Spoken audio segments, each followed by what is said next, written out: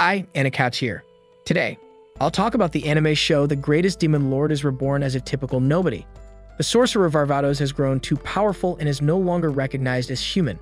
With no one who can understand him, he decides to reincarnate as an average boy. Reborn as Ard Meteor, he hopes to live an ordinary life. Unfortunately, magical power and education has declined, so while his powers would be considered average in the past, in the present, he is once again the strongest warrior and sorcerer. Reaching 10 years old, Ard hopes to make a friend, but is passed as the terrifying demon lord means he has no social skills and is seen as creepy by other children. Mayor Alhide, friend to Ard's parents, worries his daughter Irina has become withdrawn after being bullied by her friends for her elf heritage. Ard finds Irina using magic and offers to teach her, but she runs away.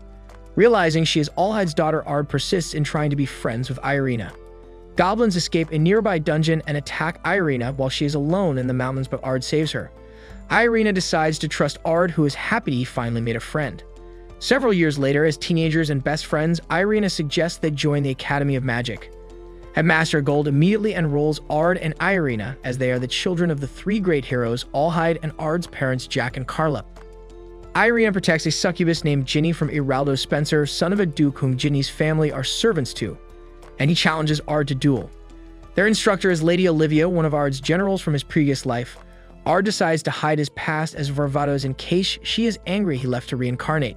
During their duel, Ard realizes Iraldo has been hiding his ordinary magical abilities behind impressive spell names and defeats him. Olivia is suspicious of Ard over his use of lost skills unseen since Demon Lord Varvatos. Olivia sends the class to hunt monsters in a dungeon. Ard and Irina form a team with Ginny, but due to years of Iraldo's bullying, Ginny suffers from a severe lack of confidence. Ard teaches her script magic, a lost skill that makes casting spells faster.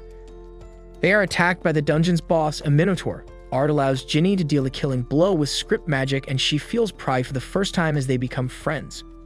Ginny finally stands up to Iraldo and slaps him, humiliating him. Before Ard can escape, Olivia grabs him for a private conversation. Olivia drags Ard to Gold, who asks him to participate in the Academy Duel event and impress the Queen to secure additional Academy funding. Ginny asks him on a date, and Irina insists on joining them, which Ginny accepts as she is happy to share Ard and plans to create harem for him, which Irina violently opposes. During the date, they attend a theatrical performance about Varvatos, though Ard is depressed at how it portrays Lydia, his deceased lover, as sweet and romantic when she was a proud warrior. Ard happens to overhear a cultist group planning to kidnap the queen during the duel event and follows them underground. They are captured and reveal they lured them there to kill Ard. However, Ard defeats them easily, except the leader, who is revealed to be a demon in disguise. He flees to the streets where Ard destroys him and is celebrated by the crowd. For his heroics, they are summoned by Queen Rosie, a friend of Irina's, who at first jokes she shall take Ard as her husband to annoy Irina, but instead grants the Academy its funding, promotes Ard and Irina to Pentagon class mages and Ginny to Triangle Mage. The surviving cultists reveal they plan to fail so as to measure Ard's strength as part of their plot to help their master rule the world. A student later revealed to be named Lemming confesses her love to Ard, though purely to enhance her own reputation, and is scared off by a jealous Irina. Having secured the funding already, Ard refuses to participate in the duel event disappointing Gold, who had hoped Ard would impress the nobles enough to promote Ard to an academy instructor. Ginny tries to seduce Ard. Irina arrives, having planned to do something similar as an apology for her jealousy, but becomes angrier when she sees Ginny. They decide to duel over Ard, but before Ard can forbid them, they are found by Professor Jessica, who explains Gold's plan to make Ard an instructor and decides they will duel at the duel event in front of Queen Rosie. At the duel event, Ard is depressed. Three of the judges are his parents and Irina's father, Alhide. Due to having learned lost skills from Ard, both Irina and Ginny win their matches against other students. Before their own duel begins, demon cultists appear in the audience and Jessica stabs Alhide in the back, revealing she is actually Elzard the Frenzied Dragon King, and her plan the whole time was to kidnap Irina. Ginny is hurt protecting Irina and cannot stop Elzard from abducting Irina. Ard heals Alhide's injuries and he gives Ard access to the royal armory so he can rescue Irina. Elzard prepares to sacrifice Irina to a monster called the Orphan of Chaos as a ritual to summon an evil god and destroy the world that she hates. After promising Ginny that he will save Irina, Ard arrives in time to kill a monster and Elzard's followers. Elzard tries to turn him against Irina by revealing Irina's family is the true royal family and are descendants of the evil gods, but he does not care. They battle, and he impales Elzard, but she reverts to her true dragon form and attacks again. Ard summons an apparition of Lydia to fight by his side and reverts to his Varvatos form. He deduces that Elzard's true motivation was loneliness, but that was no excuse for threatening Irina and he slays her. Lydia disappears and Ard reverts to normal. As they walk home, Irina is frightened of him at first, but remembers that he accepted her even after learning her secret and vows to become strong enough to fight by his side. A young girl named Sylphie emerges from a dungeon to find the world has changed. A masked man informs her time moves differently within that particular dungeon, so while she was inside 3,000 years have passed by. He reveals Varvatos and her sister Lydia both died long ago, but Varvatos' soul has reincarnated as Ard Meteor.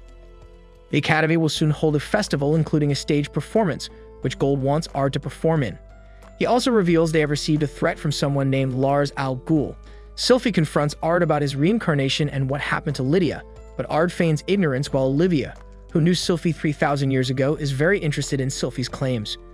Sylphie challenges Ard to a duel, and when Ard wins, Sylphie loses her temper, earning a scolding from Irina, making Sylphie cry as Irina reminds her of Lydia.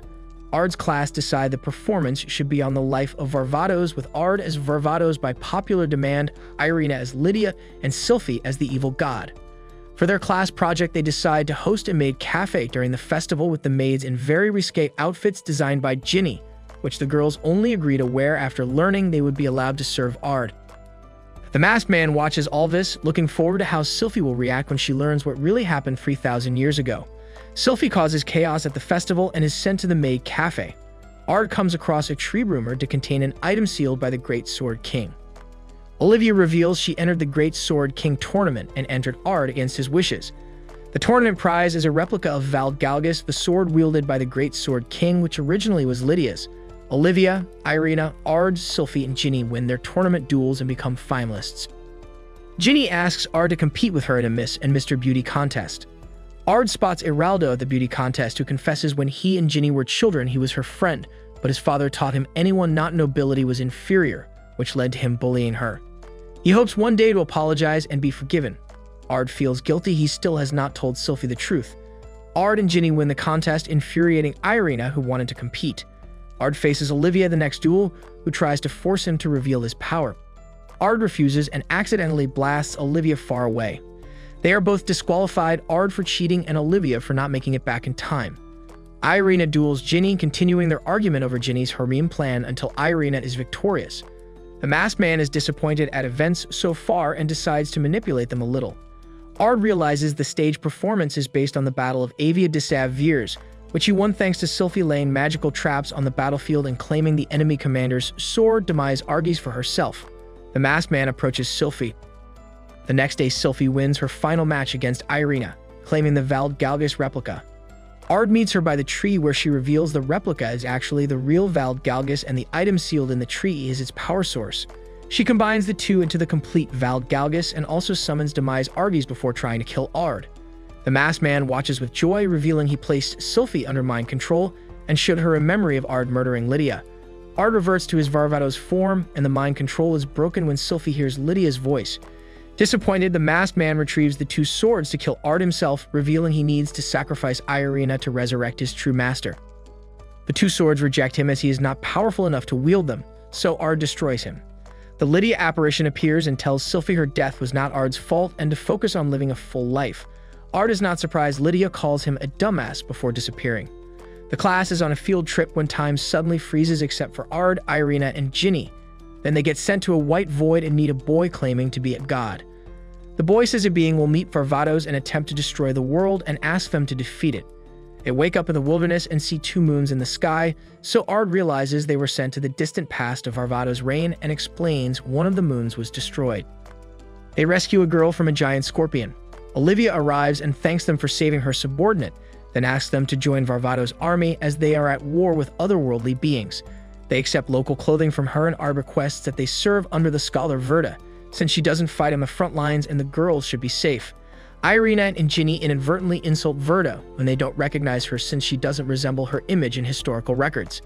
They explain they are from the future and Verda promises to help them. Sylphie and Lydia show up to request reinforcements, but Lydia becomes attracted to Ginny and sexually harasses her. Ard interferes and Lydia angrily challenges him to a fight that ends in a draw. Ard requests an audience with Varvatos, but Lydia says they will have to prove themselves in battle. The group stays in a girl named Latima's house, and Lydia sexually harasses Ginny in the bath. They later enter battle, and Ard effortlessly captures the enemy general, impressing Lydia enough to grant them an audience with Varvatos and making Sylphie jealous. Along the way, Alvardo picks a fight with Ard, but Varvatos and Lydia scold and dismiss him. Ard becomes slightly jealous of his past self when Irina and Ginny become attracted to him. To the trio's confusion, Varvatos is not called the Demon Lord and says the enemy's leader has that title. After Varvatos dismisses them, they discuss the inconsistencies with Verda, who speculates that the demon lord whom Varvatos fought to a draw in the past is the being that God wanted them to stop and is changing history. Ginny suggests telling Varvatos the truth, but they will need to do something impressive to meet him again. Ard leaves Irina and Ginny behind to join Lydia and Sylphie on a raid of Mavilla's the Cursed King, who Ard remembers as the one who cursed Lydia and forced Varvatos to kill her. However, when they arrive at his stronghold, Mavilla's has already been killed by a dark, armored knight the demon lord who declares that he will defeat Varvatos and conquer the world before disappearing. Ard is confused at the orders of God to repair history as it would mean killing many people who are now alive, including Lydia. The demon lord appears to Ard and reveals he is also Ard, but from an imminent future where, after losing everything, he changed his name from Ard to Disaster Rogue. He has been sent back in time by God, but with the mission of destroying the world and battling Varvatos, but the guilt over his mistakes is too much, so he intends to save Lydia and then die in battle against her. He gives Ard time to consider joining him before vanishing. Later, Lydia asks what is troubling him, and Ard cryptically asks what she would do if she had to die to fix a mistake. She takes him to a town she had to destroy during the war, massacring even the children, and explains due to guilt she has already decided she will one day die in complete obscurity once the world is finally at peace. During the next battle, Ard sneaks away to meet Disaster Rogue and explains he will not deny Lydia her own repentance and will allow her to die. Disaster Rogue attacks him, but due to their identical abilities, neither can win until Disaster Rogue reveals he arranged for the battle to occur at the same time as their duel to distract him. Irina is upset that Ard left her and Ginny behind, then Latima takes them on a mission to destroy a crystal that is the source of Disaster Rogue's immortality. However, when they reach it, Latima betrays them and binds them to magic nullifying crosses, revealing she is working for Disaster Rogue. Disaster Rogue shows Ard the captive girls and orders Ard to join him or they will die, saying he will kill anyone just to save Lydia. Irina and Ginny escape the crosses using a typical magic taught by Ard. Undaunted, Latima summons a squad of monsters, saying she will kill anyone just to save Lydia.